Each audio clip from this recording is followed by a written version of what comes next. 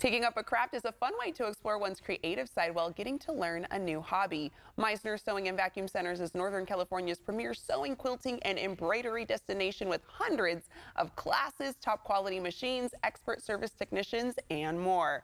We've got our friends live at the Quilt Craft and Sewing Festival, and we're speaking with Raylene Salazar, media manager for Meissner. Hello, Raylene. Hi, how are you? Excited. We're doing good. We're excited to have you on. So tell our viewers about the festival that's taking place.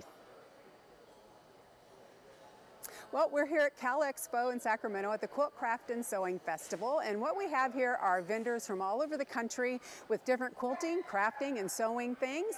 Uh, a lot of them doing demonstrations. We have free classes. It's just eye candy for anybody who likes to be creative and anyone who's not. It's very inspirational for people that are looking to get into some kind of a craft or sewing. It's a great place to start. Okay, I was going to ask, yeah, so like for someone like myself who's a newbie who wants to start dabbling into these types of crafts, this is the type of event you can go to as well.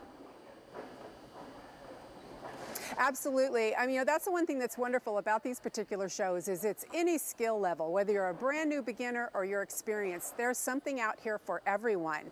And one of the really neat things that this particular show does is there are free classes all day, every day, where vendors are actually showing you techniques that they do so you can kind of see what you think you might want to explore further. And those classes are all free with your admission ticket.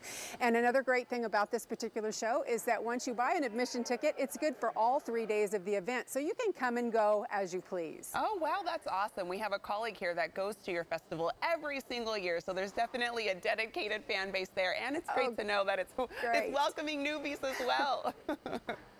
so tell us, what are the dates Always. We love the new people. Yeah. Yes, we...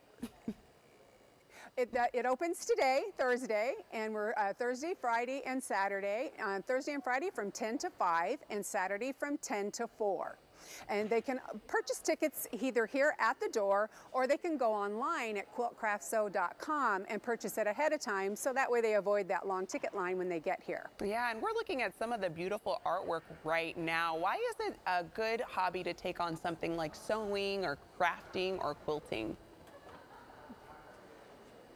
Well, you know, it's just one of those things that, you know, back in, in the olden days, we say, you know, we learned how to do a lot of this mm -hmm. stuff in school.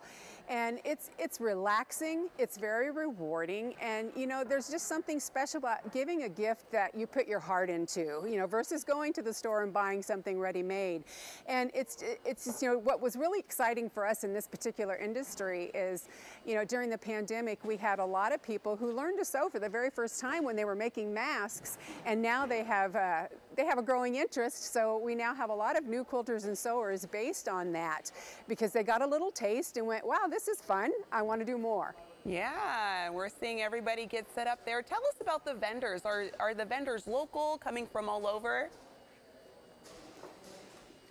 You're, you're going to find vendors from all over the country. For example, the one he's in front of here now, Terry Sue's Toffee, they're from Chico, California. Um, but we've got vendors from all over the country. Actually, I myself am from Arizona. Wow. Um, we have a lot of California vendors, but a lot of Arizona. We have Idaho. We have uh, Nevada. I mean, they're from all over the place. Yeah, uh, Raylene, first of all, I didn't know that again, there was you know, food this, there. This you can't just slip in the toffee on me. Oh, this is amazing food, by the way. I mean, it's so good. And then, you know, we have, like I say, it's not just quilting. It's not just sewing. We have, this is a great booth that he just passed by that's all quilt making, or purse making supplies, rather. We definitely have, you know, the, the goodies to keep your energy level up while you're here on the floor. And then we have this beautiful vendor here that, you know, one of many that has just an array of gorgeous, gorgeous fabrics. So not only are you going to find unique fabrics you wouldn't find in your local stores, but you're going to get that inspiration you need, especially for, you know, the more experienced people. It's a great way to stock up on all their supplies so that uh, if this weather holds and we can't get outside and garden, at least you can be inside quilting and sewing. Exactly. I love that. And you were saying, uh, we're talking about quilting and sewing. This is something a lot of people can take on whether they're new or they've been an expert on this. Is this something we could even maybe teach kids to get involved with? You know, that's the best way to get people into quilting is start them as children. I mean, children are really good at learning new things. And I will tell you that my niece was started uh, sewing when she was three years old. I mean, you can teach wow. them very, very young. And it's something that even if they do it as a child and they get away from it for a while, it's a skill they're always going to have with them for the rest of their life. Yeah, and I feel like even boys, by yes, the way. Yes. Our young men too. We have a lot of boy quilters. I love that. Everybody can do it. And I think there's something special yeah, people about often Oh, go ahead. Yeah.